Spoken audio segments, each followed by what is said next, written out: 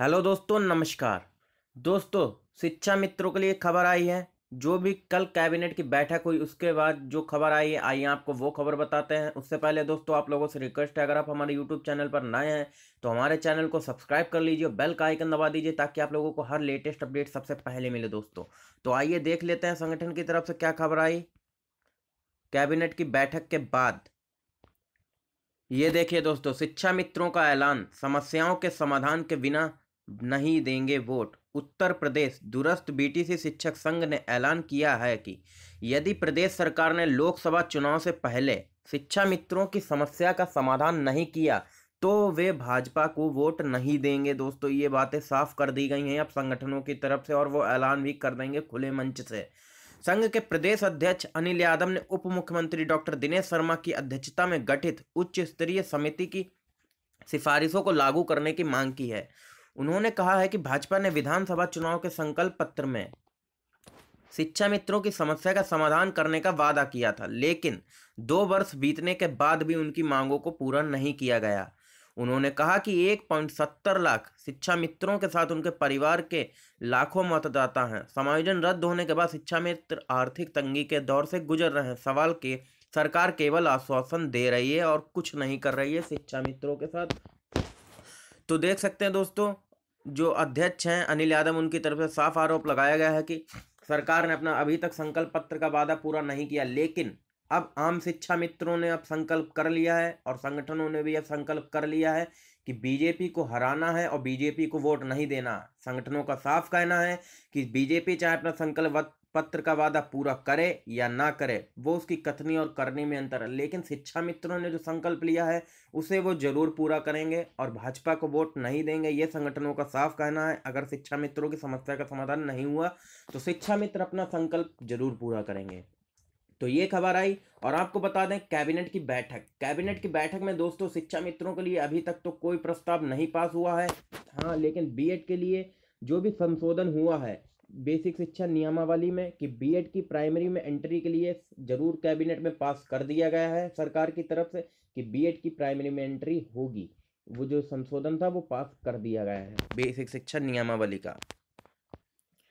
और इस, लेकिन शिक्षा मित्रों को इस कैबिनेट बैठक से ज़्यादा उम्मीदें थीं, लेकिन अभी तक इसमें कोई भी प्रस्ताव शिक्षा मित्रों को नहीं पास किया गया है। जैसा कि सभी संगठनों की तरफ़ से पूर्ण आश्वासन आश्वस्त थे सभी संगठन कि इस कैबिनेट की बैठक में शिक्षा मित्रों के लिए ज़रूर स्थायी समाधान निकलेगा लेकिन किसी जो अजय प्रताप ने वादा किया था शिक्षा मित्रों के लिए और जो मुख्यमंत्री से कल मुलाकात भी की थी और मुख्यमंत्री ने कहा था कि कि आपके साथ जो अच्छा होने जा रहा है जल्द से जल्द घोषणा हो, होने जा रही है। लेकिन उनकी तरफ़ से कहा गया था कि आज की कैबिनेट में हो सकता है या अगले कैबिनेट में, लेकिन आज की जो कैबिनेट हुई है दो तारीख को, उसमें तो शिक्षा मित्रों के लिए कोई भी समाधान नहीं हुआ है। ये और जितेंद्र साई की हमने कल आप ऑडियो भी सुनाई थी, उसमें भी उनका साफ़ कहना था, आज अगर आता है प्रस्ताव, वरना चार तारीख के बाद मंत्रिमंडल का विस्तार होना, उसके बाद कैबिनेट की बैठक तो डेट अब आगे आगे बढ़ती जा रही है। जैसे जैसे चुनाव की तारीख, शिक्षा मित्रों के लिए एक नई तारीख मिल रही है, चुनाव आते आते तो देख सकते हैं। ये खबर आई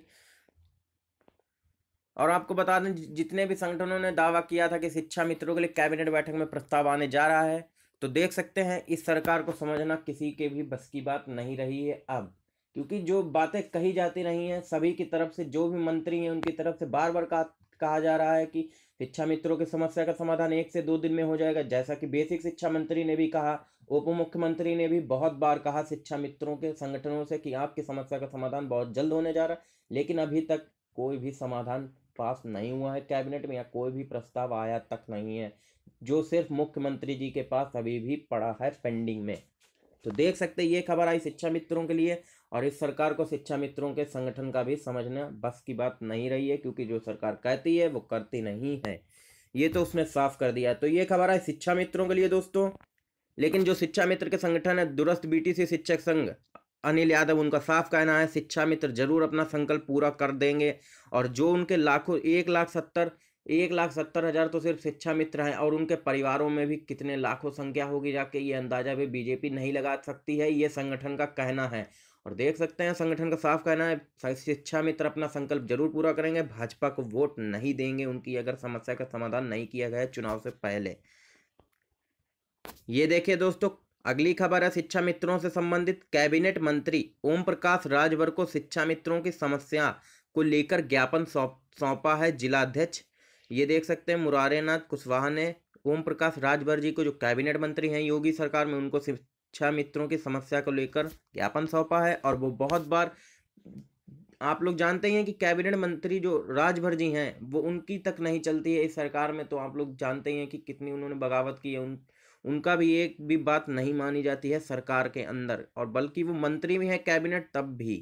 तो देख सकते हैं शिक्षा मित्रों की समस्याओं को लेकर उन्होंने मांग पत्र अपना सौंपा और जो कैबिनेट मंत्री ओम प्रकाश राजभर हैं वो पहले ही कह चुके हैं मीडिया के माध्यम से कि जो बेसिक शिक्षा विभाग है और पुलिस विभाग, इनकी जो योगी सरकार अनदेखी कर रही है, वो बहुत चुनाव में भारी पड़ेगी और ये सरकार बदलने के लिए काफ़ी है। वोट जो बेसिक शिक्षा विभाग आप लोग समझ ही गए हैं, शिक्षा मित्रों से। इतनी ज़्यादा संख्या है शिक्षा मित्रों की ही कि सरकार बनाने की भी दम रखते हैं रखते हैं और गिराने की भी। तो ये खबर है, देख सकते हैं, आपको फ़ोटो भी दिखा देते हैं। देख लीजिए, राजभर जी को मांग पत्र सौंपते शिक्षा मित्रों के संगठन के जिलाधिकारी, जिलाध्यक्ष। जो भी जिलाध्यक्ष हैं वो संग, सॉरी, जिलाध्यक्ष सौंपते राजभर जी को मांग पत्र अपना और उनसे कहा कि समस्या का समाधान कराइए। आप मंत्री हैं, कैबिनेट में, योगी सरकार में। और योगी जो ये राजभर जी हैं, वो बहुत बार रसोइयों के लिए भी कह चुके हैं योगी सरकार से कि इनकी समस्या का समाधान क्यों नहीं कर रही है सरकार? और शिक्षा मित्रों की समस्या के लिए लेके क्या दिक्कत है सरकार को जो अभी तक घोषणा नहीं की, लेकिन फिर भी जो मंत्री तक की नहीं चलती है, इस सरकार में आप लोग देख ही सकते हैं तो शिक्षा मित्रों के संगठनों की क्या बात की जाए? तो ये खबर आई। ये मांग पत्र सौंपते हुए इसमें सभी मांगे हैं कि शिक्षा मित्रों को स्थायी किया जाए, जो भी उन्होंने वादा किया था स्थायी करेंगे। वो वादा पूरा किया जाए अपने संकल्प पत्र का, वरना सर, शिक्षा मित्र अपना संकल्प पत्र ज़रूर पूरा करेंगे। तो ये खबर आई ओम प्रकाश राजभर जी को लेकर। अगली खबर देखते हैं शिक्षा मित्रों से संबंधित दोस्तों।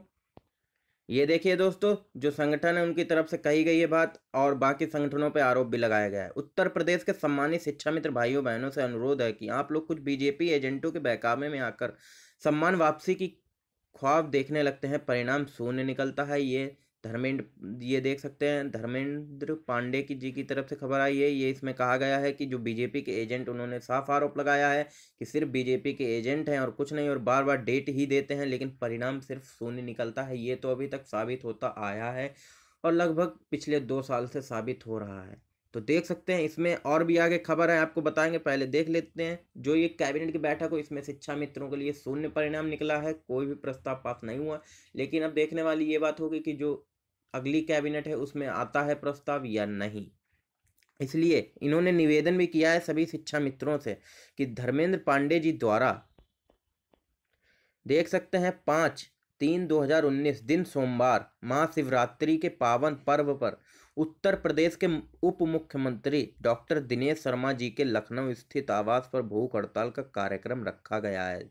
जी हाँ दोस्तों, आप लोग जानते ही हैं कि जितेंद्र शाही ने भी भूख हड़ताल की थी तीन दिनों की, सांसदों के आवास पर लेकिन उन्होंने आश्वासन तो पूर्ण दिया था और मुलाकात भी कराई मुख्यमंत्री जी से, लेकिन उस पर कोई कार्रवाई होती दिखाई नहीं दे रही है। लेकिन ये जो अगली भूख हड़ताल होने जा रही है, ये उप मुख्यमंत्री डॉक्टर दिनेश शर्मा जी के आवास पे होने जा रही है, जो पाँच तीन दो हज़ार उन्नीस दिन सोमवार और मास शिवरात्रि देख सकते सोमवार को, यानी कि कल दोस्तों चार तारीख को ये होने जा रही है, सोमवार को।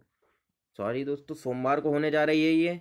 सॉरी लो, आप लोग देख सकते हैं ये तारीख इसमें दी है चार तीन दो हज़ार उन्नीस दिन सोमवार यानी कि कल सोमवार को होने जा रही है या रविवार है कल सोमवार को ये महाशिवरात्रि के पावन अवसर पर महाशिवरात्रि भी है सोमवार को और उसी के क्रम में उप मुख्यमंत्री डॉक्टर दिनेश शर्मा जी के लखनऊ स्थित आवास पर भूख हड़ताल का कार्यक्रम रखा गया है, जिसमें अपने मान सम्मान, स्वाभिमान के लिए वहाँ पहुंचकर अपनी आवाज़ बुलंद करें। ये संगठन की तरफ़ से बातें कही गई हैं कि जो भी शिक्षा मित्र हैं पहुँचे और सभी संगठन यही बातें कहते रहे कि हमारे धरने में पहुँची, हमारे धरने में पहुँची, लेकिन शिक्षा मित्र जब जाते हैं तो वहाँ कोई परिणाम निकल के नहीं आता है। तो देखा आपने, चार तारीख को उप मुख्यमंत्री डॉक्टर दिनेश शर्मा जी के आवास पर भूख हड़ताल होगी। उस दिन सोमवार को महाशिवरात्रि के पावन पर्व पर ये भूख हड़ताल शिक्षा मित्र करेंगे और अपनी समस्या का स्थायी समाधान करने की मांग करेंगे, जो जल्द से जल्द सरकार करे, वरना आश्वासन से पेट नहीं भरता है। ये शिक्षा मित्रों के संगठन का साफ़ कहना है। तो देख सकते हैं, ये सभी संगठन अपने स्तर से प्रयास करते हुए, लेकिन अभी तक किसी का भी प्रयास रंग नहीं लाया है। जो कि साफ़ दिखाई पड़ रहा है। तो देखा आपने, ये खबरें आई। ओम प्रकाश राजभर जी, जो कैबिनेट मंत्री हैं, उनको मांग पत्र शिक्षा मित्रों के संगठन ने सौंपा और जो प्रदेश अध्यक्ष हैं अनिल यादव, उनकी तरफ़ से संकल्प लिया गया है कि बीजेपी अपना संकल्प पत्र का वादा पूरा करे या ना करे, शिक्षा मित्र अब ज़रूर पूरा करेंगे। अपना संकल्प जो उन्होंने ले लिया है बीजेपी को हराने का।